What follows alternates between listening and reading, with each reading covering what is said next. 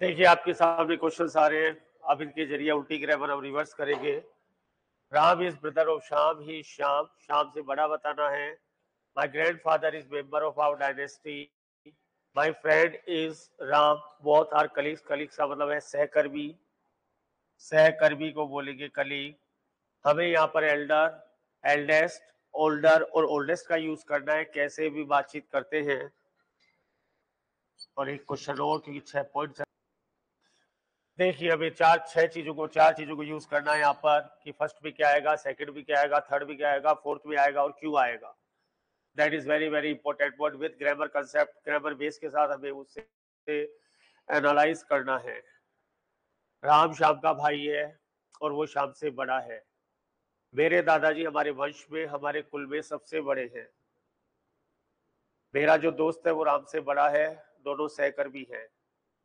और sarpanch is in our commodious commodious village हमारे गाँव में वो सबसे बड़े हैं, जो हमारा सरपंच है, वो भी सबसे बड़ा ninety eight years old age है उसकी। ताजमहल भारत में सबसे पुराना स्मारक है मोन्यूमेंट है, और ताजमहल हवा महल से पुराना है। यानी आपको चार पॉइंट मिलेंगे, चारों में से हमें भरना है और क्यों भरना है, वो सबसे इम्पोर्टेंट है। क्या कोई आप में से बता सकता है कि एल्डर और ओल्डर में क्या डिफरेंस होता है? What is the difference between elder and older elder कब आएगा ओल्डर कब आएगा? या दोनों में कोई डिफरेंस नहीं है, दोनों इक्वल है? क्या आप में से कोई बता सकता है कि एल्डेस्ट और ओल्डेस्ट में क्या फ़र्क है? यही कहानी है आज की। आज की पहली कहानी जाती है हमारी चार एग्जेक्टिव को, जिसका नाम है एल्डर जिसका दूसरा नाम है द एल्डेस्ट जिसका तीसरा नाम है द ओल्डेस्ट या ओल्डर। ओके, आपकी क्वेरी का जवाब देते हैं अभी। आपने कहा कि साहब बड़े को बोलते हैं एल्डेस्ट। तो ये बताइए, फिर ओल्डेस्ट को क्या बोलेंगे? मैंने आपका डिफरेंस पूछा आपने कह दिया एल्डर बड़े को कहते हैं, वो बात तो सही है। तो ओल्डेस्ट भी बड़े को ही कहते हैं। ऑनलाइन फ्रेंड्स का जो क्वेरी आ रही है आपकी, वो आप कह रहे हैं कि एल्डेस्ट बड़े को कहते हैं। एल्डर का खुद से बड़ा बोलते हैं, ठीक है तो ओल्डर भी बड़ा ही होगा। ओल्डर भी बड़ा ही होगा सीधी सी कहानी है, फिर क्या डिफरेंस है इनमें? यही तो हमारा कहानी और कहानी क्या है? बताइए आप में से। है? बोलो। ओल्डेस्ट बूढ़े को कहते हैं। बहुत अच्छी बात तो फिर एल्डेस्ट किसको कहते हैं? बड़े को, बड़े और बूढ़े में क्या फ़र्क हुआ? बहुत अच्छी कहानी है, इसीलिए तो लोग कहते थे सिलेक्शन क्यों नहीं होता? इसलिए नहीं होता है। देखो, बहुत छोटी पॉइंट है, काफ़ी सिक्स क्लास में को देखा तो होगा, पढ़ा भी होगा, लेकिन आज भी डिफरेंस देखो कितना बढ़िया है। पहला क्वेश्चन है आपका, राम इज़ ब्रदर ऑफ़ शाम राम शाम का भाई है, मैं यहाँ पर एक बार भरता हूँ एल्डर टू इसमें दो कहानियाँ चलेगी, बहुत इसका ग्राफ अच्छा बनेगा एल्डर टू वह शाम से बड़ा है, मैंने एल्डर टू बनाया यहाँ पर मैं चाहूँ ना, मैं चाहूँ तो भी यहाँ पर मैं ओल्डर नहीं भर सकता, क्योंकि ग्रामर के कुछ प्रतिबंध हैं। क्या प्रतिबंध है? अभी बात करते हैं। एल्डर के साथ टू आएगा और ओल्डर के साथ देन आएगा। एक बहुत बड़ा डिस्क्रिप्शन लेके चल रही है ग्रामर अभी आता है, देखो, वही वही कहानी आ रही है। वही कहानी डिस्कस कर रहे हैं कि क्या कहता है। दूसरा लिखा my grandfather is member of our dynasty मेरे दादाजी हमारे परिवार में सबसे बड़े हैं। उनकी एज हो गई नाइनटी एट उनसे बड़ा कोई नहीं है। वो उनकी एटी एट उनसे बड़ा कोई नहीं है। मैंने यहाँ पर ग्रामर का इज़्ज़त करते हुए द एल्डेस्ट लिख दिया। मैंने ग्रामर की इज़्ज़त करते हुए यहाँ पर द एल्डेस लिख दिया। ग्रामर इज़्ज़त चाहती है, पूरा आपका रिस्पेक्ट चाहती है। मैंने यहाँ पर द एल्डेस लिख दिया। सेंटेंस सही हो गया फ़र्स्ट सेंटेंस सही हो गया second. My friend is Ram, both are colleague. मैं राम को, मेरा जो दोस्त है वो राम से बड़ा है। ये मेरा दोस्त है और वो राम से बड़ा है। और फिर आगे मैंने एक डाल दिया, वो दोनों सहकर्मी है। वो दोनों सहकर्मी है। ये जो मेरा फ्रेंड है वो राम है, ये सहकर्मी है। ये आपस में, एक ऑफ़िस में काम करते हैं। लेकिन जो मेरा दोस्त है, वो राम से बड़ा है तो मेरे को यहाँ पर एक और ग्रामर को फॉलो करना पड़ेगा और मैं लिखूँगा ऑल्डर देन इसका भी ध्यान रखना, ये बहुत खतरनाक चीज़ है। वहाँ टू ले रहा है या देन ले रहा है। और sarpanch is in our commodious field हमारा जो लंबा चौड़ा गाँव है, उसमें हमारे जो सरपंच साहब है ना, वो सबसे बड़े हैं। उनकी एज हो गई 92 जैसे कहती है, यार, इनकी एज हो गई, ये सबसे बड़े हैं, हमारे यूथ जनरल जनरल का पार्ट है द ओल्डेस्ट हमारे जो सरपंच साहब है, वो हमारे गाँव में सबसे बड़े हैं। कहानी देखो एल्डर टू पे गई, द के पास गई ओल्डर दैट गई, द गई Taj Mahal is monument in India Taj Mahal सबसे पुराना स्मारक है इस भारत में, द ओल्डेस्ट और द ताजमहल इस हवामहल ताजमहल हवामहल से पुराना है तो यहाँ पर लिखेंगे ओल्डर देन अब आज की कहानी शुरू होती है, अब। हमने बेस बनाया क्वेश्चन के ज़रिए क्वेश्चन में क्वेरी पैदा होती है और क्वेरी से फिर आंसर आता है तो, तो बहुत मज़ा आता है। रिवर्स में जब गाड़ी चलती है तो बहुत चलता है उल्टे चलने से ज़्यादा फ़ायदा होता है सीधे चलने से। पहले क्वेरी पैदा की किसी ने सोचा एल्डर टू आया कोई सोचा ओल्डेस्ट आया किसी ने कुछ सोचा सोचा तो क्वेरी पैदा हुई एक ग्राउंड पैदा हुआ। अब उस ग्राउंड पे गेम खेलते हैं आज के इन पॉइंट्स का। राम इज़ ब्रदर ऑफ़ शाम राम शाम का भाई है ही इज़ एल्डर टू शाम वो शाम से बड़ा है। यदि किसी भी ब्लड रिलेशन में, रक्त संबंध में किसी को छोटा बड़ा बताना हो तो वहाँ पर एल्डर का प्रयोग करेंगे। टू के साथ भाई है, चाचा भतीजा है ब्लड रिलेशन है सेम क्लान है सेम डायनेस्टी है सेम वंश है तो आप एल्डर टू का प्रयोग करेंगे रक्त संबंध में। पहली बात my grandfather is the eldest member of our dynasty मेरे दादाजी दादाजी मेरे रक्त संबंध में है ब्लड रिलेशन में है तो ब्लड रिलेशन में जब किसी को सबसे बड़ा बताना हो ब्लड रिलेशन में जब किसी को सबसे बड़ा बताना हो तो द एल्डेस्ट का प्रयोग करेंगे, क्योंकि दादाजी मेरे ब्लड रिलेशन में है, मेरे दादा है, हम एक ही रक्त संबंध में है डायनेस्टी हमारा वंश है, हमारा क्लान है तो आपने द एल्डेस्ट को यूज़ किया। बहुत अच्छे से समझना है। My friend is older than Ram मेरा जो फ्रेंड है, वो राम से बड़ा है। बहुत हार कलीग बता दिया। ब्लड रिलेशन नहीं है, रक्त संबंध नहीं है सहकर भी है। ओल्डर देन आ गया। ये ओल्डर देन और एल्डर टू ये अंतर भी बहुत भारी पड़ता है। एल्डर भी आपकी कंपेरेटिव डिग्री है लेकिन उसे टू पसंद नहीं है। सात वर्ड ऐसे लूँगा भी आने वाले समय में आने वाली क्लासेस में जागृति शर्मा की पेप्सी जो अपने साथ कंपैरिजन करते वक्त भी देन को प्रयोग नहीं करती है टू को यूज़ करेगी। तो जागृति शर्मा की पेप्सी का पहला ए, एक जो वर्ड है एक जो कलाकार है वो एल्डर टू है बाकी छह भी बाकी है। ओल्डर देन लेगा, क्योंकि ओल्डर एक कंपेरेटिव डिग्री है तो कंपेरेटिव डिग्री इन सात वर्ड को छोड़कर देन को यूज़ करती है। सात वर्ड उसके एक्सेप्शन है, अपवाद है। फिर आया आपका पॉइंट नंबर चार। Our sarpanch is the oldest in our commodious village हमारे जो सरपंच साहब है, वो सबसे बड़े हैं। ओल्डेस्ट पर्सन लगा दो तो भी ठीक है। सबसे बड़े पर्सन है, सबसे बड़े व्यक्ति है। पर्सन लगा दोगे तो ज़्यादा अच्छा लगेगा। सबसे बड़े व्यक्ति है, कहा? हमारे लंबे चौड़े गाँव में, क्यों द ओल्डेस्ट यूज़ किया, एल्डेस्ट यूज़ क्यों नहीं किया? क्योंकि सरपंच साहब से मेरा कोई ब्लड रिलेशन नहीं है। सरपंच साहब मेरे ताऊ जी चाचा जी मेरे दादाजी वगैरह कुछ नहीं है। सरपंच है, वो कोई और पर्सन है, कोई और क्लान से है, कोई और सरनेम है। और मेरे दादाजी थे, वो मेरे सरनेम से या मैं उनके सरनेम से हूँ। तो वहाँ पर आपका सेकंड में द एल्डेस्ट आया और फोर्थ में आपका द ओल्डेस्ट आया। क्योंकि सरपंच साहब से आपका कोई लेना देना नहीं है। Taj Mahal is the oldest monument in India आपने कहा, सर वस्तुओं इमारतों के लिए भी आपको सबसे प्राचीन बताना हो, आपको सबसे छोटा बड़ा बताना हो तो आप ओल्डर और ओल्डेस्ट का प्रयोग करेंगे। यानी एल्डर और एल्डेस्ट सिर्फ़ व्यक्तियों के लिए आएगा, सिर्फ़ व्यक्तियों के लिए आएगा। ओल्डर और ओल्डेस्ट का प्रयोग व्यक्तियों के अलावा इमारतों में, वस्तुओं में, जानवरों में, किसी में भी हो सकता है। कोई रोकेगा नहीं। The oldest monument India Taj Mahal सबसे प्राचीन इमारत है, सबसे प्राचीन स्मारक है भारत में। और the Taj Mahal is older than the Hawa Mahal और ताजमहल हवा महल से पुराना है तो आपकी समरी जाती है।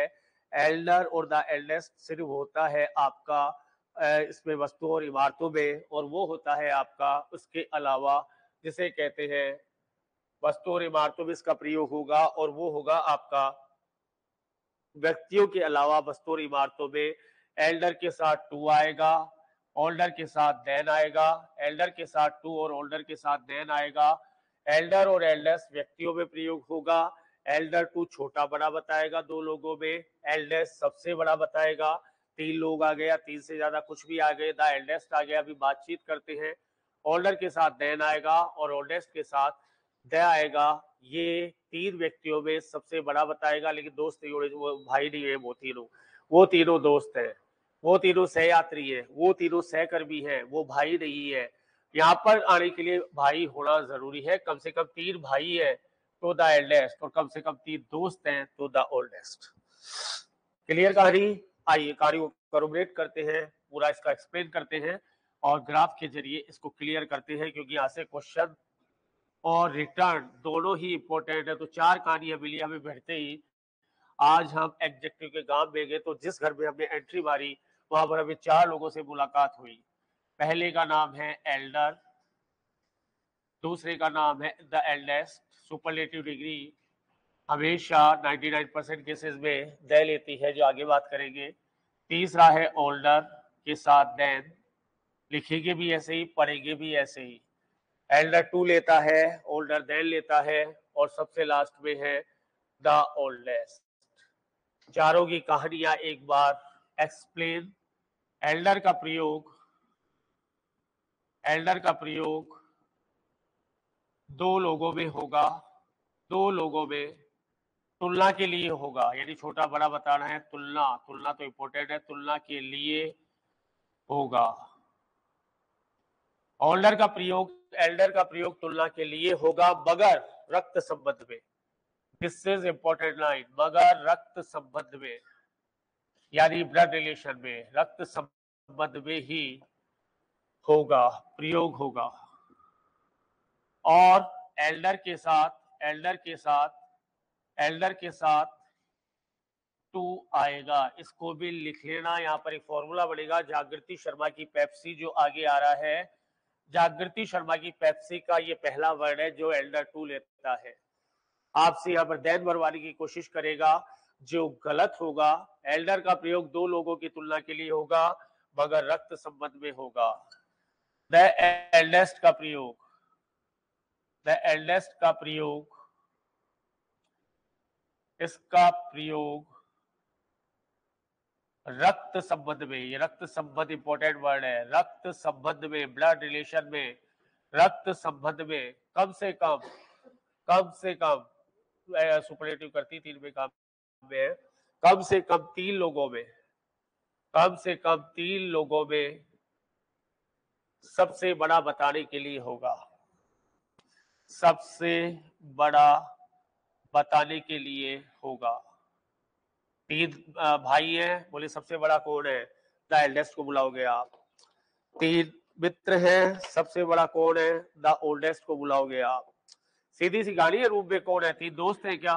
दो दोस्त हैं, तीन दोस्त हैं को थोड़ा एक्सप्लेन करता हूँ मैं, ग्राफ के ज़रिए। द एल्डेस्ट गया, द ओल्डेस्ट एल्डर गया ओल्डर को बुलाओ। ओल्डर देन बोलेंगे आप। ओल्डर देन इसका प्रयोग रक्त संबंध के अलावा, इसको रक्त संबंध के अलावा एक्सेप्ट ऑफ़ ब्लड रिलेशन रक्त संबंध के अलावा, रक्त संबंध के अलावा तुलना के लिए होगा कि छोटा कौन है, बड़ा कौन है। ओल्डर देन बोलते ही बोला भाई नहीं हो। तुलना के लिए होगा। ओल्डर देन पूरा बोलोगे ओल्डर से काम नहीं चलेगा। ओल्डर देन इसका प्रयोग इसका प्रयोग रक्त संबंध के अलावा होगा। This is use for the you can say comparison except for blood relation blood relation नहीं होना चाहिए। वो भाई नहीं होंगे, वो होंगे कम से कम दोस्त यात्री पड़ोसी, कुछ भी एक्स वाई जेड और द ओल्डेस्ट का प्रयोग, द ओल्डेस्ट का प्रयोग, द ओल्डेस्ट का प्रयोग, रक्त संबंध के अलावा, रक्त संबंध के अलावा, रक्त संबंध के अलावा सबसे बड़ा बताने के लिए होगा। सबसे बड़ा बताने के लिए, बताने के लिए होगा। समरी कर दी हमने रूल की एग्ज़ाम्पल खेल लिए होगा। रक्त संबंध बताने के लिए होगा और इन दोनों का यूज़ इन दो लास्ट पॉइंट ओल्डर टेन और द एल्डेस्ट द ओल्डेस्ट का प्रयोग का प्रयोग व्यक्तियों के अलावा, व्यक्तियों के अलावा, व्यक्तियों के अलावा, वस्तुओं वस्तुओं और इमारतों या कोई भी चीज़, जानवरों, कुछ भी इमारतों के लिए होगा। एक बार लिख लो फिर प्रैक्टिकल वे में इसका एग्जांपल समझते और प्रैक्टिकल वे में। थेरोटिकल तो लिख लिया हमने प्रैक्टिकल वे में। Elder the eldest older than आज चार भाई मिले आपको एग्जेक्टिव के गाँव में। अगले मकान में प्रवेश किया आपने। पहले मकान में थे ईच एवरी आइदर नाइदर दूसरे मकान में थे लिटिल लिटिल लिटिल तीसरे मकान में चार भाई, चार दोस्त, elder, the eldest, older than और द ओल्डेस्ट। ब्लैंक स्पेस हाई और सेंटेंस के ज़रिए ये पता चले कि दोनों भाई है या ब्लड रिलेशन है किसी भी प्रकार तो एल्डर टू का प्रयोग करेंगे। तीन लोगों में यदि वो किसी भी प्रकार पता चल जाएगा कि मेरे दादाजी है, मेरे ताऊ जी है, मेरे चाचा जी है, कम से कम तीन लोगों में सुपरलेटिव डिग्री काम करती है। ज़्यादा से ज़्यादा पूरी दुनिया हो सकती है। द एल्डेस्ट रक्त संबंध में दो ही आएँगे। एल्डर और एल्डर्स का प्रयोग केवल व्यक्तियों में होगा, केवल इंसानों में होगा, और किसी में प्रयोग नहीं होगा। फिर आता है ओल्डर देन। ओल्डर देन का प्रयोग रक्त संबंध के अलावा होगा, यानी ब्लड रिलेशन नहीं है, ब्लड रिलेशन नहीं है, और द ओल्डेस्ट का प्रयोग तीन दोस्तों में। तीन सहेलियों में, तीन सहकर्मियों में, तीन पड़ोसियों में, तीन सहयात्रियों में, तीन सहपाठियों में सबसे बड़ा बताने के लिए होगा। तीन बहने हैं, उनमें सबसे बड़ा बताना है तो द ओल्डेस्ट को बुलाएँगे। तीन सहेलियाँ हैं, उनमें सबसे बड़ा बताएँगे तो द ओल्डेस्ट आएगा। दो दोस्त हैं तो ओल्डर देन आएगा। दो भाई है तो एल्डर टू आएगा। ओल्डर देन का प्रयोग और द ओल्डेस्ट का प्रयोग व्यक्तियों के अलावा वस्तुओं में और इमारतों के लिए होगा। आपके पास दो मोबाइल है। मैंने आपसे पूछा, कौन सा मोबाइल पुराना है? तो आपने बोला Oppo mobile is older than Vivo mobile फिर आपने एक मोबाइल और ले आए। मैंने कहा सबसे पुराना कौन है? तो आपने बोला Oppo mobile is the oldest oldest this Oppo mobile is the oldest mobile in my home yes last में लिखा है ओल्डर देन और द ओल्डेस्ट का प्रयोग व्यक्तियों के अलावा, व्यक्तियों के अलावा वस्तुओं और इमारतों के लिए होगा। व्यक्तियों के अलावा वस्तु और इमारतों के लिए होगा ओल्डर देन का प्रयोग। आपकी कॉलोनी में दो मकान हैं H1 और H2 इनमें सबसे पुराना कौन है? H1 है। तो house number H1 is older than house 2 एक मकान और खेस दो तीन। अब सबसे पुराना कौन है? ये वाला। तो आप बोलोगे, house number one is the oldest house in our locality, in our colony. ठीक है।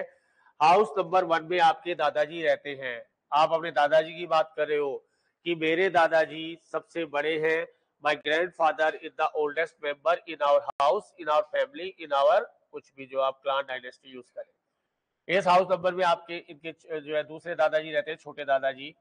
तो ये इनसे बड़े हैं। अब आएगा द ओल्डेस्ट, क्योंकि अब ये जो आपका, ये द एल्डेस्ट आएगा, लेकिन ये अंकल जी हैं, ये इनके इनसे कोई ब्लड रिलेशन नहीं है हमारा। तो इनकी बात करेंगे तो द ओल्डेस्ट आएगा कि ये जो अंकल जी है ना, वो हमारी लोकेलिटी में सबसे बड़े हैं। तो हिज अंकल जी या दिस अंकल जी या रामलाल जी या शर्मा जी जो भी है, is the oldest person in our locality. लेकिन दादाजी उनसे बड़े हैं, दादाजी उनसे बड़े हैं या अंकल जी उनसे बड़े हैं तो ओल्डर देन। तो इन दोनों में कोई ब्लड रिलेशन नहीं है। हाँ दादाजी से छोटे ताऊ जी हैं तो एल्डर टू दादाजी सबसे बड़े हैं तो द एल्डेस्ट ये अंकल जी सबसे बड़े हैं तो द ओल्डेस्ट अंकल जी दादाजी से बड़े हैं तो ओल्डर देन और मकानों की तुलना में ये मकान इससे पुराना है तो ओल्डर देन और सबसे पुराना है तो द ओल्डेस्ट कहानी क्लियर एक बार कहानी को फिट कर लो दिमाग में। आपको चार पर्सन मिले या चार लोग मिले, चार भरते चार लोग मिले एल्डर टू ऐसे ही बोलेंगे आप, ऐसे नहीं एल्डर बोल के आपने अपना जो है इग्नोर कर दिया। दैट इज़ रॉन्ग ग्रामर नाराज़ हो जाती है। एल्डर टू द एल्डेस्ट इनको एक साथ। एल्डर टू प्लस तुलना एल्डर टू प्लस तुलना दो व्यक्तियों में, तुलना दो ही व्यक्तियों में होती है। एल्डर टू प्लस तुलना दो व्यक्तियों में, प्रतिबंध, रक्त संबंध, प्रतिबंध, रक्त संबंध। बहुत शॉर्ट में नोट्स बनाने आपको।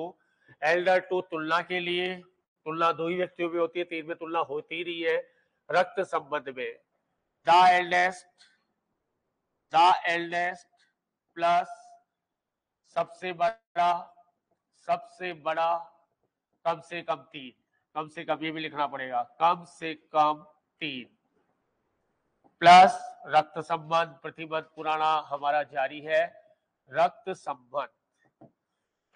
एल्डेस्ट और एल्डर टू की कहानी खत्म। व्यक्तियों में ये प्रतिबंध सदी सिर्फ़ इंसानों में लागू होगा और कहीं लागू नहीं होगा। तीसरा मिला हमें older than older than older के साथ देन आएगा। प्लस कर दीजिए तुलना। तुलना दो व्यक्तियों में। दो व्यक्तियों में प्लस प्रतिबंध इम्पोज करिए रक्त संबंध के अलावा। प्रतिबंध इम्पोज करिए रक्त संबंध के अलावा। तो समझ में आ गया, दोस्त हैं, सहेलियाँ हैं, बैचमेट हैं, लेकिन बहने तो नहीं है, भाई तो नहीं है, चाचा ताऊ तो नहीं है। फिर आया आपका द ओल्डेस्ट। फिर आया आपका द ओल्डेस्ट। आपने कहा सबसे बड़ा। आपने कहा सबसे बड़ा। सबसे बड़ा, कम से कम तीन व्यक्ति। कम से कम तीन व्यक्ति। ज़्यादा पूरी दुनिया हो सकती है तीन हज़ार हो सकते हैं तीन लाख हो सकते हैं उससे क्या फ़र्क पड़ता है? प्लस वही एक प्रतिबंध रक्त संबंध के अलावा। रक्त संबंध के अलावा। Blood except for blood relation रक्त संबंध के अलावा। Older than in two persons. And uh, except for blood relation or the oldest can be used uh, at least three person except for blood relation.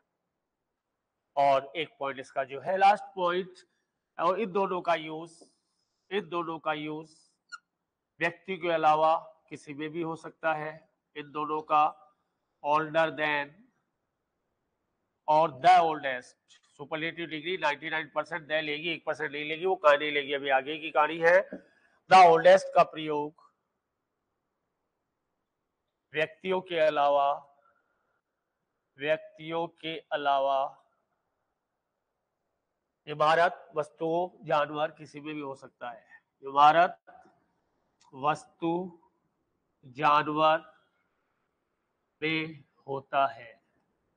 ये आज की कहानी की सबरी आज की कहानी का मैथमेटिकल ग्राफ आज की कहानी का मैथमेटिकल एक्सप्रेशन कुछ नहीं करना है, सिर्फ़ कहानी याद रखनी, बाकी कहानी आपके माइंड में एल्डर के साथ टू आएगा, तुलना दो व्यक्तियों में। ये दो व्यक्ति भाई होने चाहिए, ये दो व्यक्ति चाचा ताऊ होने चाहिए, चाचा भतीजा होने चाहिए। कोई भी ब्लड रिलेशन होना चाहिए सेम ही खानदान में एल्डर टू। रक्त संबंध होना चाहिए, दूसरा है द एल्डेस्ट सबसे बड़ा, कम से कम तीन, रक्त संबंध होना चाहिए। मेरे ही खानदान के तीन लोग हैं, और मुझे बताना कि मेरे ताऊ जी सबसे बड़े हैं तो माई ताऊ ji is the eldest member in our family नहीं, मेरे चाचा जी सबसे बड़े हैं eldest member in our family नहीं, तीन पड़ोसी आ गए। अब बताना ये अंकल जी सबसे बड़े हैं। तो Ramlal uncle is the oldest person in this group in this village in this locality in this house X Y Z जो भी है। लेकिन रामलाल जी, श्यामलाल जी से बड़े हैं। Ramlal is older than Shyamlal ji. दोनों आपस में भाई कभी नहीं है। सेंटेंस साफ़ साफ़ कह रहा है आपको। और Ramlal ji is elder to Shyamlal ji. Indirectly sentence कह गया। ब्लड रिलेशन में कवर हो रहा है आपका सेंटेंस एल्डर के साथ टू आएगा ओल्डर के साथ देन आएगा। एल्डर टू एक अपवाद है कि सुपर कंपेरेटिव डिग्री तो हूँ मैं, लेकिन अपन को देन पसंद नहीं है। भाई तो अकेला है क्या? बोले, नहीं, मेरे साथ एक बारात है, एक फॉर्मूला आएगा, जागृति शर्मा की पेप्सी जेएस पेप्सी को यूज़ करेंगे, जागृति शर्मा की पेप्सी अपने साथ कभी दैन नहीं लेती है, वो हमेशा टू लेती है। और एक चीज़ और इम्पोर्टेंट इससे पहले मोर भी नहीं आएगा, जबकि कंपेरेटिव डिग्री की पहचान ही होती है, या तो ई आर वर्ड हो उसमें, या उसमें मोर का यूज़ हो। जैसे स्मॉलर टॉलर अभी बात करेंगे आगे, आज उसका नहीं है मेंशन और ओल्डर के साथ देन आएगा, क्योंकि ये कम से कम दो व्यक्तियों में होती है, लेकिन ये दो व्यक्ति भाई कभी नहीं हो सकते, दोस्त हो सकते हैं, कुछ भी हो सकते हैं, लेकिन भाई तो नहीं हो सकते। क्लियर आज का टॉपिक एकदम? Fourth point the oldest plus सबसे बड़ा बताने के लिए, लेकिन कम से कम तीन व्यक्ति। एटलीस्ट थ्री पर्सन जैसे आप तीन लोग बैठे और मुझे आप में सबसे बड़ा बताना है तो मैं द ओल्डेस्ट को यूज़ करूँगा। इसका मतलब ये, आप बूढ़े हो गए। इसका मतलब ये नहीं होगा बूढ़े हो गए। नहीं, आप दोस्त हैं, इसलिए मेरे को द ओल्डेस्ट लाना पड़ेगा। और आप भाई है, आप ब्रदर हैं, आप कजिन हैं, आप ब्लड रिलेशन में हैं तो मैं द एल्डेस्ट को भी उम्र से इसका कोई लेना देना नहीं है। चाहे वो दस दस साल के, दस, ग्यारह, बारह साल के बच्चे हैं, तीन, लेकिन तीनों दोस्त हैं तो द ओल्डेस्ट हो गया। वो तीनों भाई है तो द एल्डेस्ट हो गया, एक चला गया। तो भाई है तो एल्डर टू रह जाएगा, दोस्त है तो ओल्डर देन रह जाएगा। एक आ गया, और वो भाई है तीनों, भाई आया तो द एल्डेस्ट को लेकर आएगा, और दोस्त आया, और पहले से दो दोस्त हैं तो द ओल्डेस्ट को लेकर आएगा। क्लियर कहानी? एकदम प्रिंट दोबारा पढ़ने की ज़रूरत पड़ेगी, अब दोबारा आप किसी भी कॉपी किताब को हाथ नहीं लगाएँगे। हाथ ही नहीं लगाना, इसी प्रोसेस के ज़रिए एग्ज़ाम को फाइट करेंगे अपन। हाथ ही नहीं लगाना कि दोबारा रिमेम्बर करना है, किताब में हाथ लगाना ये भी एक चैलेंज है। विदाउट कॉपी को हाथ लगाए विदाउट किताब को हाथ लगाए, बिना रिमेम्बर किए एग्ज़ाम में अपियर हो गए देखते हैं एग्ज़ाम का गुरु टूटेगा या हमारा गुरु टूटेगा? गुरूर एक का तो टूटेगा, ये बात तो तय है। लेकिन किसका? वक्त बताएगा। फिर चार भाइयों से मिलवाता हूँ आपको, जो आपने आज से पहले सुने, ना देखे, दो तो सुने हुए पढ़े हुए लेकिन एग्ज़ाम यूज़ करेंगे आज के ज़रिए। कैसे? You should purchase mobile mobile to cut a bold figure cut a bold figure का मतलब होता है अच्छा प्रभाव छोड़ना। और कटेसोरी फिगर का मतलब होगा बुरा प्र, अच्छा प्रभाव छोड़ना। कट ए बोल्ड फिगर चार लोग आए यहाँ पर भरने के लिए। अभी चार लोगों को बुलाया नहीं हमने। अभी हमने उनको जो है रख रखा है। चार लोगों को बुलाया देखते हैं क्या कहते हैं चार लोग। आपने कहा you should purchase a mobile to cut a bold figure और लास्ट का भरने के लिए आएगा। यहाँ पे क्वेरी पैदा होती है। इंट्रोवर्ट नेचर कहते हैं अंतर्मुखी प्रवृत्ति। अंतर्मुखी को कहते हैं इंट्रोवर्ट नेचर यानी कम बोलने वाला पर्सन आपका इंट्रोवर्ट कहलाता है। आप ये रोले डायरेक्ट एग्ज़ाम में लेके जाएँगे। There is no need of copy किताब and book no need of the revision exam में डायरेक्ट फाइट करेंगे इन क्वेश्चंस को उठाकर, इन बेस को उठाकर। ये हमारे और एग्ज़ाम की लड़ाई है गुरूर का क्वेश्चन है, एक इमेज का क्वेश्चन है। क्या क्या इस प्रोसेस से भी एग्ज़ाम को जीता जा सकता है कि अपनी किताब को हाथ भी नहीं लगाया, कॉपी को हाथ भी नहीं लगाया, फिर भी हिट शानदार कर दिया। तो आपको मैंने चार क्वेश्चन दिए कि I will offer oblation in temple than my mother between gold and silver is cheaper you should purchase mobile to cut a bold figure Ram is buddy due to my introvert nature और चार बढ़ने के लिए आपको चार word मैंने आपको उपलब्ध करवाए। पहला लिख दिया मैंने later L A T E R दूसरा मैंने लिख दिया latter L A double T E R तीसरा लिख दिया मैंने लेटेस्ट काफ़ी यूज़ किया है ज़िंदगी में, लेकिन आज ग्रामर में जा रहा है और चौथा है हमारा लास्ट ये आपसे क्या उम्मीद करते हैं? कौन कहा जाएगा? किसकी तरह जाएगा? और एग्ज़ाम भी जब ये क्वेश्चन बना दे, तब पता चलता है इनका रोल क्या है। ऐसे तो लेटेस्ट बोले सुना हुआ है, भाई साहब लेटेस्ट मोबाइल दो। भाई साहब लेटेस्ट एडिशन दो। लेटेस्ट यूज़ किया बहुत बोला है, लेकिन एग्ज़ाम में जब यहाँ रुतबा दिखाते हुए क्वेश्चन को लेकर आते हैं ना, तब पता चलता है कि ग्रामर कहाँ पर परेशान कर सकती है और ग्रामर कहाँ परेशान करेगी। लेटर लेटर लेटेस्ट और लास्ट क्या फ़र्क है? क्यों आएगा? कैसे आएगा? और क्या डिफरेंस लेते हुए आएगा? तो देखिए आपने I will offer oblation in temple मैं मंदिर में प्रसाद चढ़ाऊँगी। यहाँ पर टेंपल से पहले दे नहीं आएगा, क्यों नहीं आएगा, वजह भी बता देता हूँ। जब मंदिर मंदिर का काम करेगा तो आर्टिकल को यूज़ नहीं करना है। प्रसाद चढ़ाना मंदिर का वर्क है, मंदिर की एक्टिविटी है। आप यहाँ पर गलती से भी दय नहीं लगाएँगे। हाँ मंदिर में किसी का इंतज़ार कर रहे हैं तो दय लगाओ। वहाँ पर बैठ के कोई नाश्ता कर रहे हैं, कोई कोई जो है और डिस्कशन कर रहे हैं तो दय लगाओ, उससे कोई मतलब है प्रसाद चढ़ाना मंदिर की एक्टिविटी है टेंपल से पहले कुछ नहीं आएगा। अब कहानी पैदा होती है कि यहाँ पर क्या है? वो क्या आएगा? वो तो बाद की बात है। यहाँ पर लेटर आएगा L A T E R यानी बाद में। जब समय का क्रम बताना और बाद का क्रम बताना हो तो हमने यूज़ किया। I will offer oblation in temple मैं मंदिर में प्रसाद चढ़ाऊँगा लेटर देन माई मदर अपनी माँ के बाद में। यानी पहले वो यदि ग्यारह बजे चढ़ाती है तो मैं सवा ग्यारह। वो सवा ग्यारह चढ़ाती है तो मैं साढ़े ग्यारह। बिटवीन गोल्ड एंड सिल्वर सोना और चांदी के बीच में यहाँ पर भी आर्टिकल नहीं आएगा। मेटीरियल नाउन सामान्यतः अपने से पहले आर्टिकल नहीं लेती है। हाँ इनको किसी प्रकार आप स्पेशल कर दे तो ये आर्टिकल लेती है। गोल्ड में क्वेश्चन आएगा बिल्क में क्वेश्चन आएगा और एक कौन सा लेता है, वो जनरली गोल्ड और बिल्क को तो उठाता ही उठाता है, उसकी आदत है नेचर है। कभी ये बिल्क भरवा देता है, कभी द गोल्ड भरवा देता है, ऐसा वो कोशिश करता है कि कंफ्यूजन हो। बिटवीन गोल्ड एंड सिल्वर सोने और चांदी के बीच में बाद वाली सस्ती है। बाद वाली बोले, सर सिल्वर को दोबारा लिख दो। तो भी काम हो जाएगा ना, लेकिन ग्रामर सिल्वर को दोबारा लिखने की परमिशन नहीं देती है। इसलिए हम दोबारा सिल्वर को दिखाने के लिए, दोबारा सिल्वर को दिखाने के लिए, दोबारा सिल्वर को दिखाने के लिए यहाँ पर जो है द लेटर को यूज़ करेंगे। यहाँ पर यदि अभी सिल्वर को दोबारा दिखाना है तो द लेटर आएगा। लेटर से पहले द आता है, उससे पहले नहीं आएगा। Between gold and silver the latter is cheaper बाद वाली ज़्यादा सस्ती है। ये कंपेरेटिव डिग्री है जो अब इसके नेक्स्ट पार्ट में पढ़ेंगे।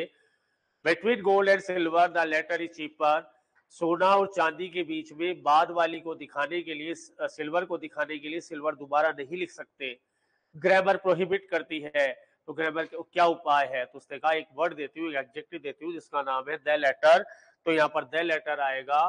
और यदि उल्टा कर दू मैं between silver and gold the latter is more expensive हो जाएगा। यदि मैंने रिवर्स कर दिया सेंटेंस को तो सोना ज़्यादा महँगा है, बाद वाला ज़्यादा महँगा है तो the latter is more expensive कहानी द लेटर के पास गई, कहानी द लेटर के पास गई। You should purchase the latest mobile आपको एक आधुनिक मोबाइल खरीदना चाहिए। एक आधुनिक मोबाइल खरीदना चाहिए अच्छा प्रभाव छोड़ने के लिए। द लेटेस्ट मोबाइल खरीदना चाहिए अच्छा प्रभाव छोड़ने के लिए आपको अब तक अंतिम, यानी इसके बाद और भी आ सकता है, अब तक अंतिम द लेटेस्ट मोबाइल खरीदना चाहिए आपको खरीदने के लिए। और लास्ट में, Ram is Ram is my last बड़ी माई और लगा देना।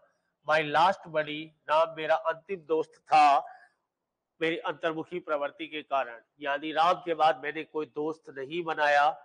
ये मेरा अंतिम एग्ज़ाम है।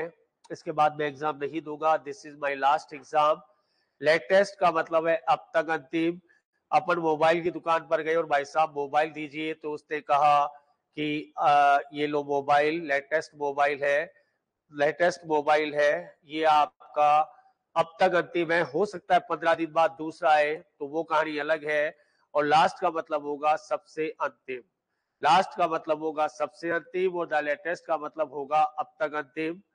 लेटर का मतलब दो वस्तु में क्रम बताएगा? बाद वाले के लिए और आपका, जिसे कहते हैं लेटर का मतलब समय का क्रम। आपने कहा, सर, में सीआरपीसी के बाद एविडेंस पढ़ेंगे हम। तो वी विल रीड या study evidence later then CrPC दे उल्टा बोल रहे हो आप सीआरपीसी लेटर देन एविडेंस कुछ भी आप जब समय का क्रम बताएँगे तो L A T E R आएगा। दो वस्तुएँ बाद वाले का क्रम बताएँगे। L A double T R का प्रयोग होगा। लेटेस्ट का मतलब होगा अब तक अंतिम, अब तक अंतिम। लेटेस्ट न्यूज़ क्या है? लेटेस्ट एडिशन क्या है? लेटेस्ट मोबाइल कौन सा है? लेटेस्ट कार कौन सी है? लेटेस्ट न्यूज़ क्या है? अब तक अंतिम वो लास्ट का मतलब है कहानी खत्म। उसके बाद ना कोई, उस कंपनी ने प्रोडक्ट ही बंद कर दिया।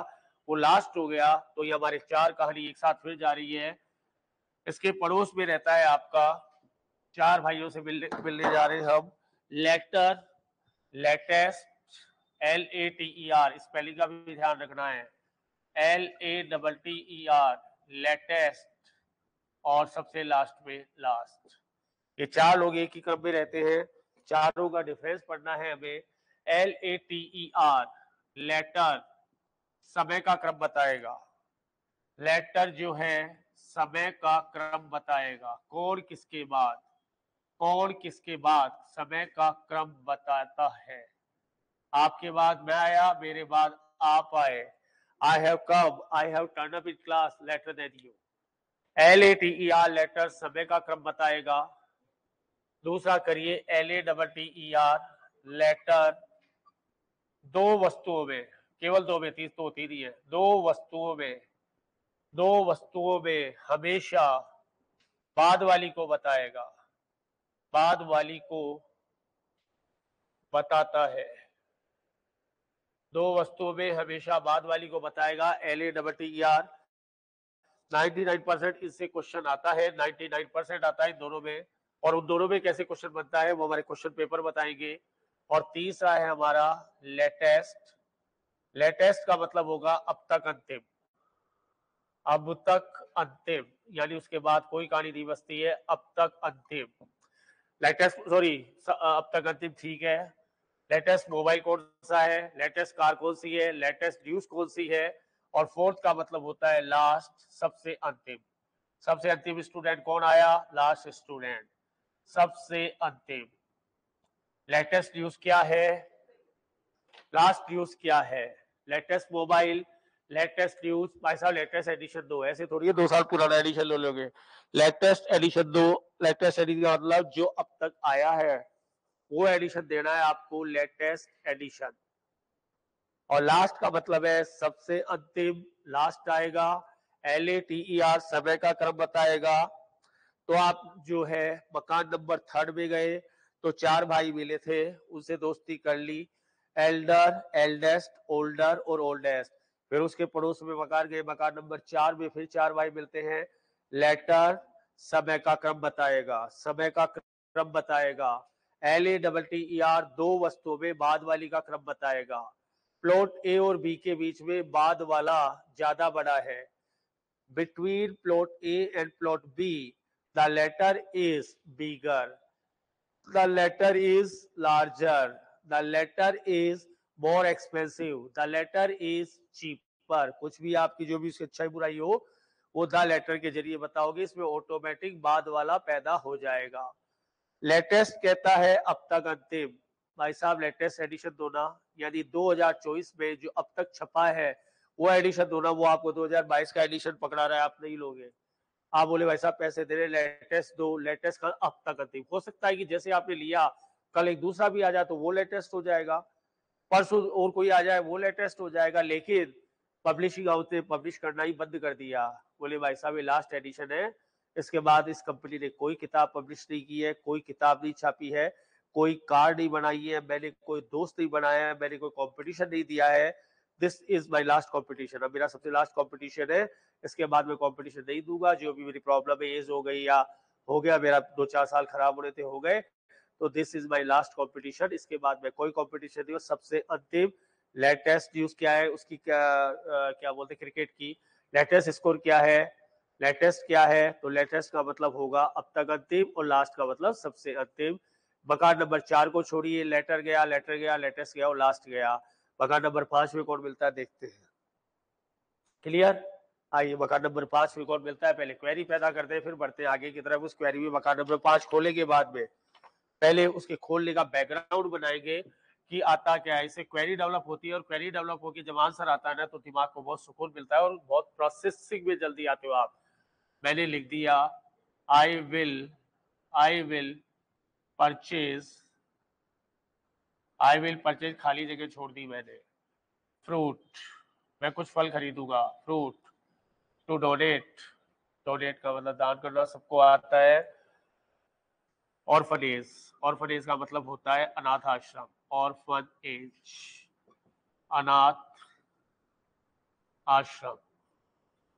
ठीक क्या बढ़ाएगा पहले दिमाग में क्वेरी बनाओ क्वेरी का प्लेटफॉर्म बनाओ। जब क्वेरी आएगी तब और मज़ा आएगा।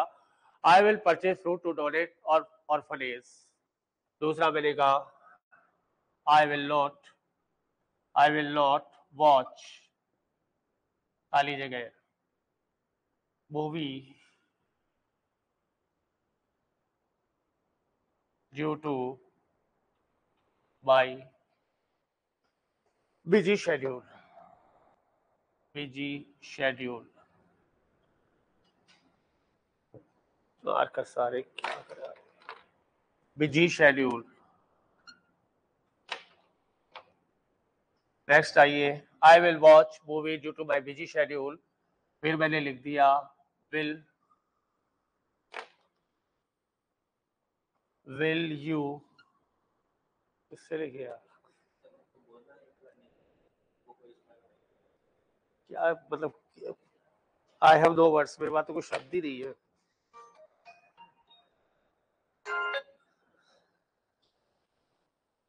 Will you will you give me मतलब पढ़ाने का रिदम ऐसा टूटता है, will you give me खाली जगह pieces of advice? यहाँ पर भी ग्रामर ले रही है। Will you give be pieces of advice और फोर्थ मैंने लिख दिया? Will you see any person and will you see any friend कर दो?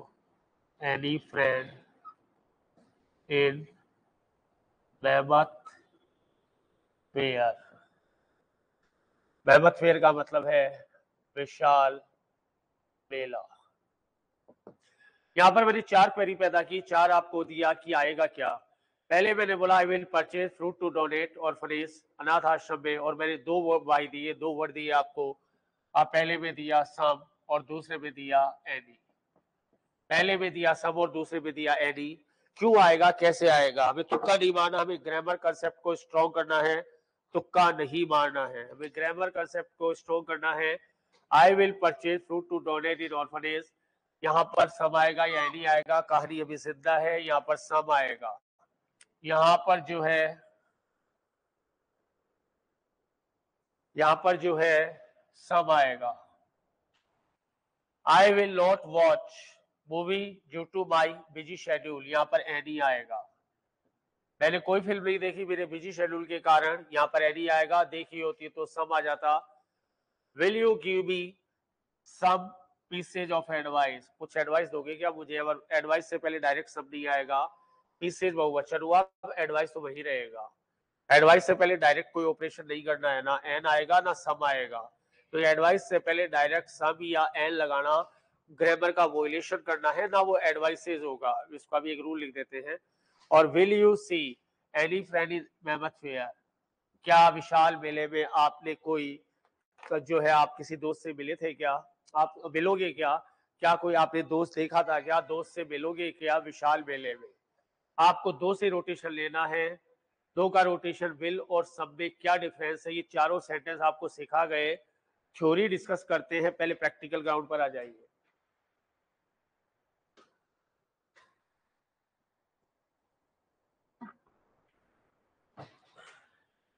पहला क्यों आया सब क्योंकि आपका वाक्य सकारात्मक है। आपका वाक्य सकारात्मक है, इसलिए आपका सम आया। आपका वाक्य सकारात्मक है, इसलिए सम आया कि मैं कुछ फल खरीदूँगा। ये मना करता कि आई विल नॉट परचेज तो क्या आ जाता? सबकी जगह एनी का यूज़ हो जाता कि I will not purchase any fruit to donate in orphanage या कुछ भी। Any milk any book any friend any mobile etcetera etcetera I will not watch वाक्य निगेटिव हो गया तो एनी आएगा। वाक्य निगेटिव हो गया तो एनी आ गया। Will you give me some pieces of advice वाक्य क्वेश्चन वाचक है। वाक्य प्रश्नवाचक है। वाक्य इंट्रोगेटिव है। लेकिन रिक्वेस्ट है क्या? वाक्य में यदि रिक्वेस्ट है तो सबको यूज़ करेगा और वाक्य विदाउट रिक्वेस्ट है। जनरली क्वेश्चन पूछ रहेगी क्या कुछ भी आपने दोस्त से मिले या कुछ भी आपने खरीद जनरल सेंटेंस लेना देना कुछ नहीं है, उसका रिक्वेस्ट है, क्या रिक्वेस्ट कही नहीं है, मैं तो आपसे क्वेश्चन पूछा है। तो जनरल यदि आपका क्वेश्चन है विदाउट रिक्वेस्ट आपका क्वेश्चन है तो वहाँ पर एनी आएगा। ये सब और एनी की कहानी का डिफरेंस है, वाक्य पॉजिटिव है, सब लेगा। वाक्य इंट्रोगेटिव तो है, लेकिन रिक्वेस्ट है रिक्वेस्ट है कि सर थोड़ा टाइम दोगे क्या मुझे? Will you give me some time वाक्य में रिक्वेस्ट थोड़ा दूध दोगे क्या, चाय बनानी है, चीनी दोगे क्या? Will you give me some sugar request है तो सम आएगा। और वो रिक्वेस्ट एक जनरल वाक्य है तो वहाँ पर आपका एनी आएगा और उसी से आपने रिक्वेस्ट कर ली तो वहाँ पर आपका सम आएगा। ये सम और एनी का एक बहुत बड़ा डिफरेंस एक बार इसको लपेट देते हैं हम, हमारे मैथमेटिकल और मैथमेटिकल एक्सप्लेनेशन में। हमें डिफरेंस करना है सम और एनी का।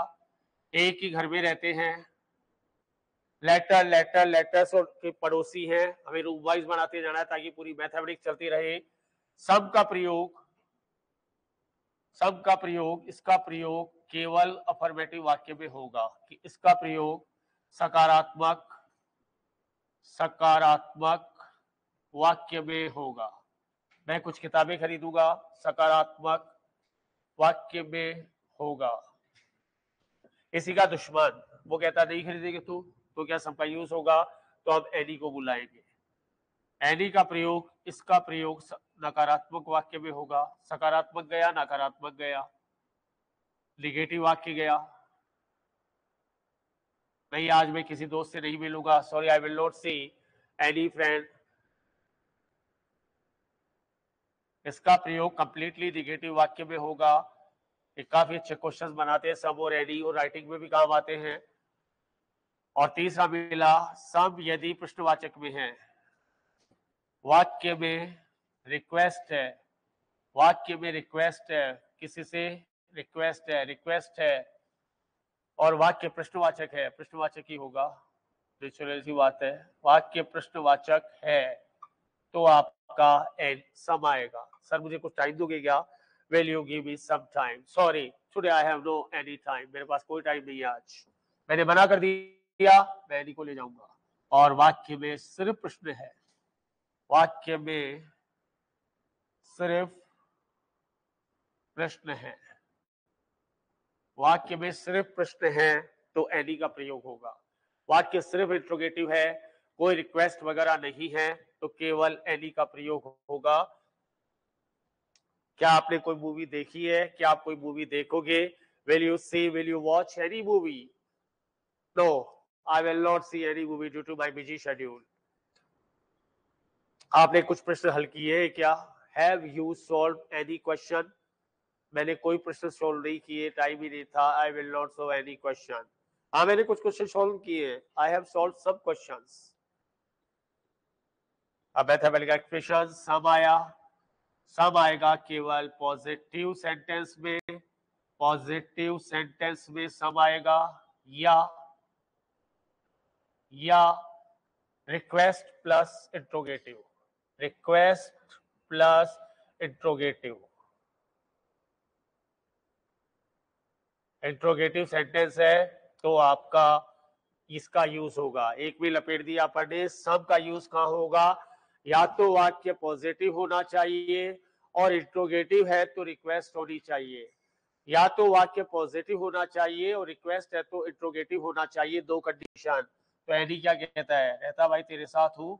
लेकिन मेरा वाक्य कंप्लीटली निगेटिव होना चाहिए, नकारात्मक होना चाहिए, या मेरे वाक्य में रिक्वेस्ट माइनस होनी चाहिए। इंट्रोगेटिव तो हो सकता हूँ, लेकिन मेरे वाक्य में कभी आपका इंट्रोगेटिव तो हूँ, लेकिन माइनस रिक्वेस्ट ये मैथमेटिकल एक्सप्रेशन अब और एनी से बाहर नहीं जाना है हमें। हमें वैस की तरह अंग्रेज़ी तैयार करनी है सीधा डायरेक्ट एग्ज़ाम में हिट करेंगे कोई आपको टेंशन नहीं रखनी है पढ़नी है रिवीजन करना है कुछ नहीं करना है डायरेक्ट जाके सीधा एग्ज़ाम में अपियर हो जाना काम हो गया। और ये भी जिद है कि इस, इस पैटर्न के थ्रू हमें गेम जीतना है ये भी एक जिद है एक जुनून है क्या इस पैटर्न के ज़रिए क्या क्लासरूम से सीधा एग्जामिनेशन हॉल में उतरा जा सकता है क्या बिल्कुल उतरा जा सकता है।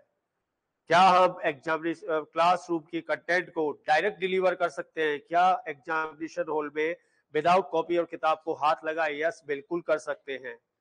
जैसा सोचेंगे, वैसी वाइब्स क्रिएट होती है। जैसा सोचेंगे, वैसी वाइब्स क्रिएट होती है। यदि आपके सामने एक शर्त रख दी जाए, अभी बहुत प्यारी सी, कि हर इंसान को दस लाख रुपए मिलेंगे, वो क्लासरूम के कंटेंट को सीधा एग्ज़ाम में डिलीवर कर दो। देखो कितना जल्दी समझ में आएगा।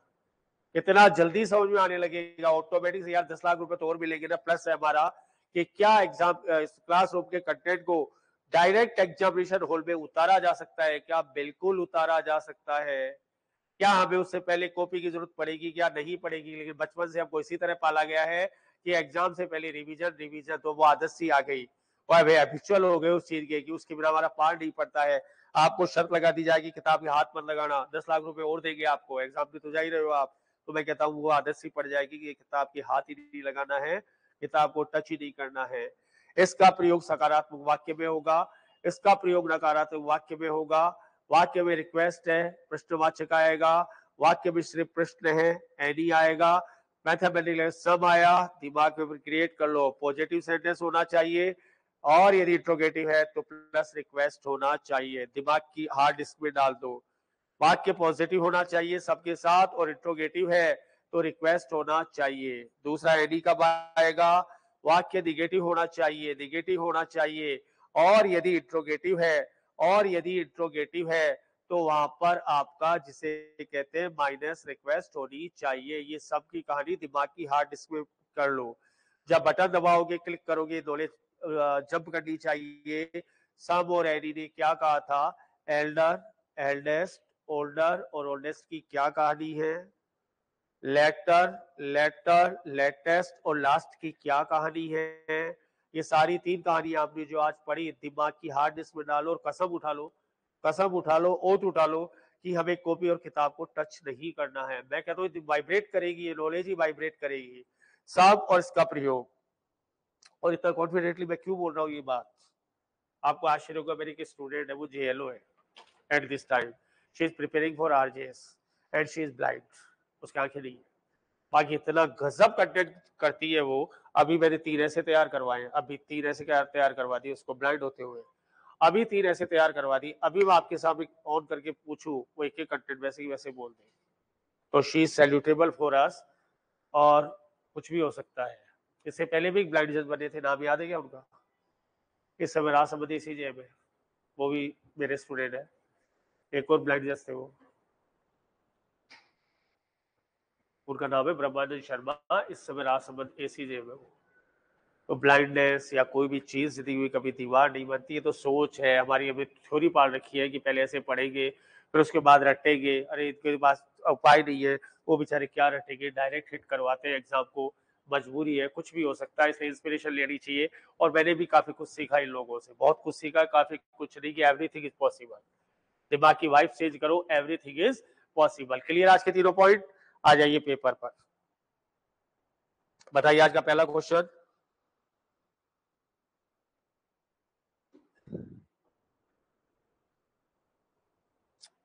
ग्रामर कंसेप्ट यही क्लियर कर लेना, मैं फिर कहता हूँ आदत डालो विदाउट कॉपी और किताब की।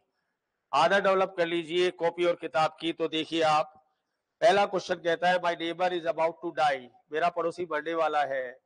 There is chances of is recuperation recuperation का मतलब होता है ठीक होना। आरोग्यता प्राप्त करना रिकपरेशन कहलाता है। बताइए, क्या आंसर आएगा?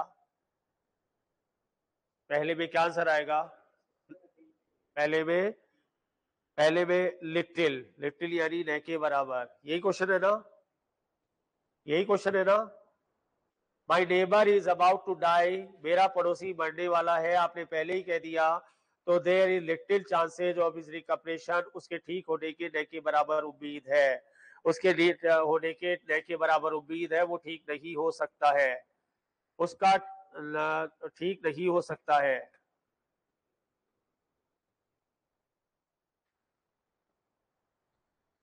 उसका जो है, वो ठीक होने की चांसेस नहीं आएगा। सॉरी लिटिल आएगा। तो देखिए आप my neighbour is about to die there little chances of recuperation उसके ठीक होने की न बराबर होती है। डॉक्टर ने कह दिया बाय बाय करो क्योंकि अब कुछ भी नहीं है। दूसरा आ जाइए you give me sugar briskly to brew tea for unvoiced guests briskly का मतलब तुरंत ब्रिस्कली का मतलब तुरंत, और टी चाय ब्रू टी का मतलब चाय बनाना। आप यहाँ अनवॉइस गेस्ट का मतलब बिन बुलाए मेहमान। आप यहाँ पर रिक्वेस्ट कर रहे हैं और रिक्वेस्ट कर रहे हैं, वो आपका बे से शुरू होगा। Be you give be, be you give be. आपका न के बराबर शुगर है, लिटिल शुगर। क्या आप मुझे थोड़ी सी शुगर दे सकते हैं बिन बुलाए मेहमानों के लिए, चाय बनाने के लिए? तो यहाँ पर मे आएगा और आपका लिटिल शुगर आएगा। आपका ए लिटिल, क्योंकि आपको बनाना है, पॉजिटिव है, ए लिटिल शुगर आएगा। A is the right answer. May you give me a little sugar, briskly to beauty for unvoiced guests may आएगा यहाँ पर और ए लिटिल शुगर आएगा। क्यों? क्योंकि आपका रिक्वेस्ट है तो मे, और इतनी चीनी तो आप मांगोगे नहीं कि आपकी चाय बन जाए और ब्रिस्कली का मतलब जल्दी से और ब्यूटी का मतलब चाय बनाना, अनवॉइस गैस का मतलब होता है आपका बिन बुलाए मेहमान।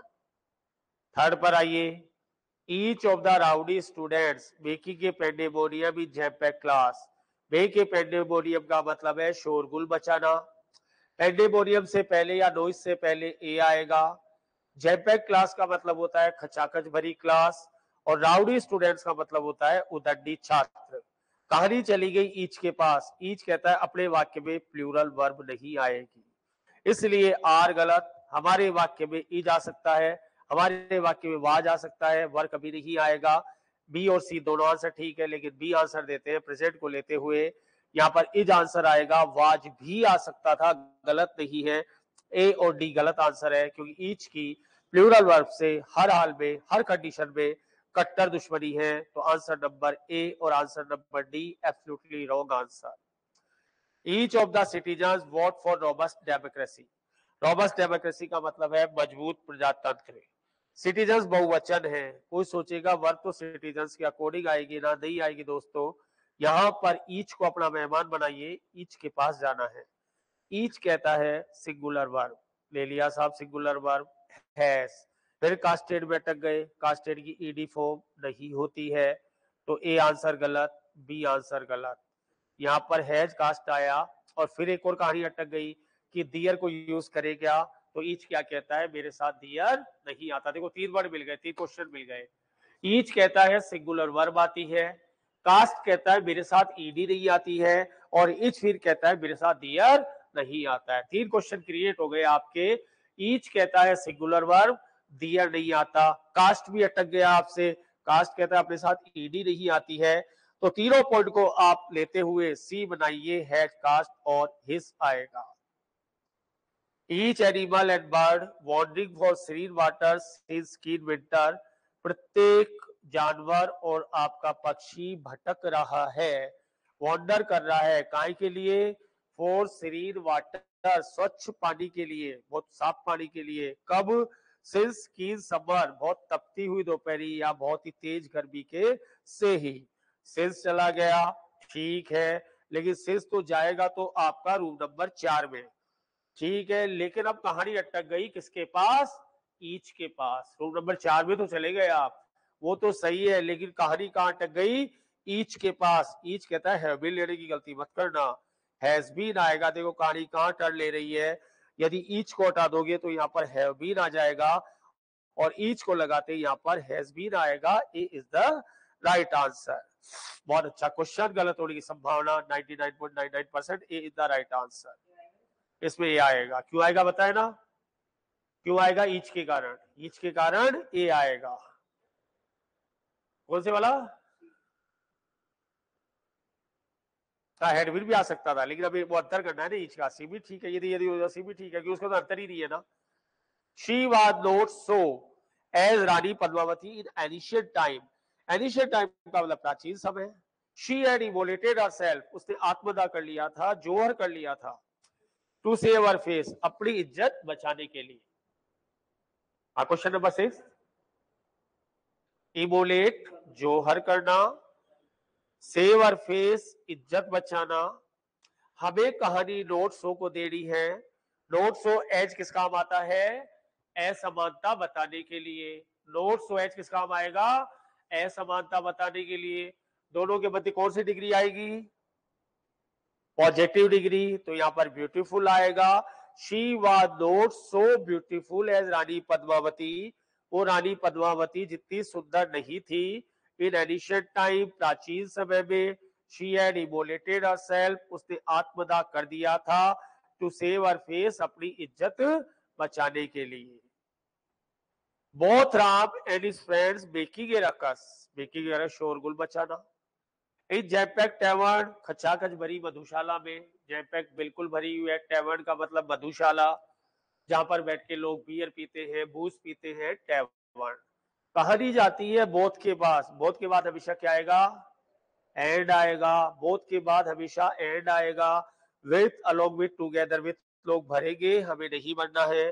Both Ram and his friends making a ruckus in जैपैक tavern दोनों राम और उसके दोस्त जो है, रकस कर रहे शोरगुल बचा रहे हैं, एक खचा, एक खचाखच भरी मधुशाला में एक बिल्कुल जैपैक्ड है आपकी टैवर्न एट्थ में आए।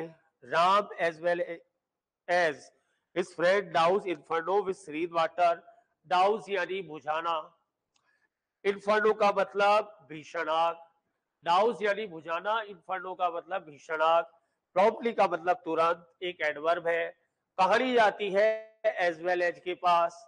एज वेल एज आपसे क्या कहता है? मेरे से पहले जो आएगा, उसके अकॉर्डिंग वर्ब आएगी।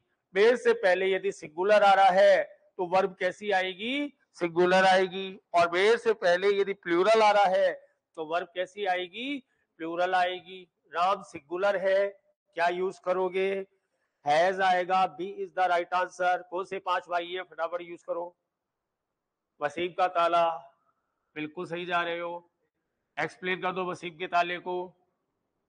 With together with as well as या अलोंग विथ या लाइक और अलोंग विथ इससे पहले एक सब्जेक्ट होगा, उसी के अकॉर्डिंग वर्ब आएगी. इससे कोई लेना देना नहीं है. ऐसे रोटेट किया करो नॉलेज को. You will lash it to him if stiff rules and regulation lash it to किसी को आड़े हाथों लेना. किसी को खरी खोटी सुनाना तो उसे डांटोगे, खरी खोटी सुनाओगे। इफ़ स्टिफ रूल्स यदि वो सख्त कायदे कानून को तोड़ेगा, क्या आंसर आएगा और क्यों आएगा? यहाँ पर फ्लाउट्स आंसर आएगा, कौन सी कंडीशन फॉलो हो रही है? इफ़ की पॉसिबल कंडीशन फ्लो हो रही है, जो आपसे कहती है इफ़ वाले वाक्य में कभी विल नहीं आएगा। बोलोगे फ्यूचर लिखोगे प्रेजेंट आगे पीछे लिखने से कंफ्यूज मत हो जाना। आगे पीछे लिखने से कंफ्यूज नहीं होना है कि साहब उसको तो पहले लिख दिया। लिख दो, उसकी मर्ज़ी है, उसकी मर्ज़ी कुछ भी है। तो आगे पीछे लिखने से कंफ्यूजन नहीं होगा। इफ़ के बाद जो है विल आएगा, नहीं आएगा, और उससे पहले वाले वाक्य में चाहे वो पहले लिखे, चाहे वो बाद में लिखे विल आएगा तो ही के अकॉर्डिंग आपका फ्लाउट्स आएगा B is the right answer my father doubt मेरे पापा शक करते हैं। I am marring my career मैं अपना भविष्य बिगाड़ रहा हूँ। मैं मार कर रहा हूँ, अपने भविष्य को बिगाड़ रहा हूँ। मैं अपना भविष्य बिगाड़ रहा हूँ, ये मेरे पापा शक करते हैं ड्यू टू बैड कंसर्ट बुरी सोबत के कारण। मेरी संगत बहुत बुरी है बैड कंसर्ट है, बुरी सोबत है, मेरी संगत बुरी है। कहानी कहाँ जाएगी? डाउट के पास। डाउट क्या कहता है? यदि मेरा वाक्य पॉजिटिव है तो आने वाला कंजक्शन इफ़ और वेदर आएगा। तो इफ़ और वेदर में ढूंढ लेते हैं A is the right answer ऐसे नाचते हुए पेपर को सॉल्व किया करो, ऐसे नाच रहे हो जैसे, डांस कर रहे हो खुशी में, खुशी के साथ। आगे आइए। Infuse sound sacrament to your offspring infuse यानी सिखाना। साउंड सेक्रामेंट अच्छे संस्कार। तुम्हारे बच्चों को अच्छे संस्कार सिखाओ। अच्छे संस्कार दो इन्फ्यूज करो उनको। टू योर ऑफ़ स्प्रिंग तुम्हारी औलादों को, तुम्हारी संतानों को। ऑफ़ स्प्रिंग की क्या ग्रामर है? इसमें कभी एस नहीं आता है और इसको कभी वर्ग चाहिए तो ये प्लूरल लेता है। कैटल का ही भाई है ये।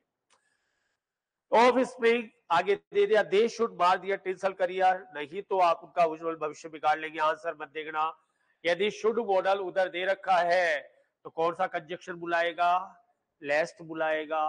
लेस्ट कंजक्शन दे रखा है तो कौन सा मॉडल बुलाएगा? शुड बुलाएगा। आंसर मत देखा करो। आंसर देखने की आदत छोड़ दो। दिमाग में उससे रिलेटेड नॉलेज को आप रोटेशन में लो कि इसकी नॉलेज क्या है। फिर आंसर के पास उतरो आप। D is the right answer I have grabbed their commodious field मैंने उनका लंबा चौड़ा खेत हड़प लिया है। ग्रैब यानी हड़पना यूज़र यानी हड़पना सीज यानी हड़पना। कोमोडियस फ़ील्ड लंबा चौड़ा खेत। हो गई गाड़ी खत्म। दे रिलाइड ऑन मी उन्होंने मुझ पर भरोसा किया था। इधर पास्ट इंडेफिनेट है। उधर प्रेजेंट परफेक्ट है। बीच में क्या आएगा? सिंस यदि लेफ़्ट वाला वाक्य प्रेजेंट परफेक्ट है राइट वाला पास्ट डेफिनेट है तो क्या आएगा? सिंस आंसर आएगा। सिंस इसमें नहीं है, छोड़ दो ऑप्शन को छोड़ दो इसमें ही नहीं। लेस्ट नहीं आएगा लेस्ट को सिंस आएगा।